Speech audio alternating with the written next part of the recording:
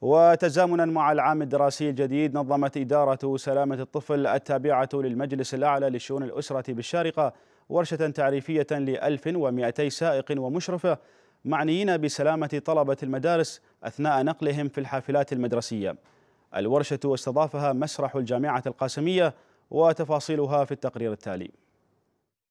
الحافلات المدرسية إحدى الوسائل المساندة لإنجاح العملية التعليمية فهي خدمة يلجأ إليها الأهالي لإيصال أبنائهم إلى المدارس ولأنها مسؤولية وأمانة تتضافر الجهود بين الجهات المعنية مع قرب بدء العام الدراسي الجديد لتوفير كافة السبل لضمان سلامة الطلبة خلال عملية نقلهم بين المنزل والمدرسة.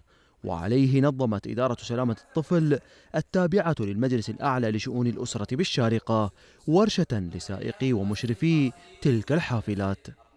تأتي اليوم ورشتنا بتوعية السائقين والمشرفين الحافلات وذلك تزامنا مع العودة إلى المدارس والورشة بعنوان القواعد الذهبية لركوب الحافلة وذلك لتأمين الطلاب في الحافلة عند نزولهم أو ركوبهم وأيضا تأمين سلامتهم.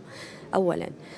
طبعا اليوم ورشتنا تتضمن أساسيات السلامة للطلاب في المركبة وتوعية السائقين بأهمية اتباع الإرشادات المرورية وأيضا آلية التصرف الصحيح في حال وقوع أي حوادث لو سمح الله وأيضا تعزيز الوعي لدى المشرفين والسائقين بحماية الطفل بقانون حقوق الطفل بخط رقم خط النجدة 800 700 الورشة قدمت أيضا أبرز معايير وجوانب السلامة منها أساسيات حماية الطلبة من مخاطر المساحات المحيطة بالحافلة المدرسية أثناء الصعود إليها والنزول منها والتأكيد على أهمية التزام السائقين بالإرشادات والأنظمة المرورية وتوجيه الأطفال بأهمية الانضباط داخل الحافلة.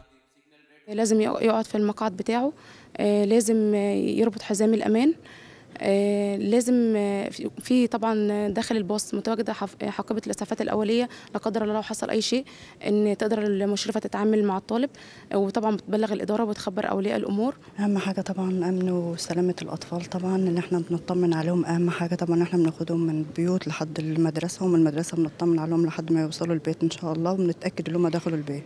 أهم شيء سلامة المنقولين. لأن في أطفال صغار وفي أطفال كبار والمشرفين إنه يكون داير باله خاصة إذا كانوا الأولاد الصغار شوي عندهم شقاوي بيطلعوا على السيتات بعدها يعني هاي بدها تنتبه لما إنه راعي الباص يسوي له بريك مفاجئ أو شيء. بطيح ولد بتضرر أو شيء. يعني أمور سلامة الطفل هي أهم من كل شيء. هذه الورشة تركز بشكل مباشر على سائقي الحافلات والمشرفين ولكن لابد لأولياء أمور الطلبة أيضا من تذكير أبنائهم بكافة قواعد السلامة والأمان منذ خروجهم من المنزل وحتى عودتهم إليه تجنبا لوقوع الحوادث. تأتي هذه الورشة لتوعية سائقي الحافلات والمشرفين بالضوابط وتعليمات الأمن والسلامة لتقليل الحوادث وضمان وصول الأطفال إلى منازلهم بأمان. لأخبار الدار سعود الكتبي الشارقة.